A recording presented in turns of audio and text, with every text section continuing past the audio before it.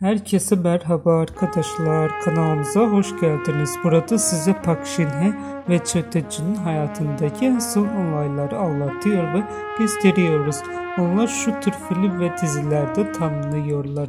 Güzel isim mirasçılar, Pinokyo doktorlar, İlham ve hatırası, Canlı aramak, Sisofus efsane, 7 Mart 2018'de Park'ın 2017'nin sonundan beri aktör Çötecin ile ilişkisi olduğu doğrulandı. 23 Kasım 2001 yılında Park'ın hamile olduğu ve Çötecin ile evlenmeye hazırlandığı açıklandı.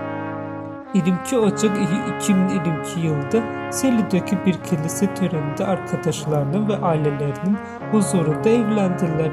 31 Mayıs 2022 yılında ilk çocukları bir erkek çocuğu dünyaya getirdi. İlginiz için hepinize teşekkür ederim arkadaşlar. Lütfen kanalıma abone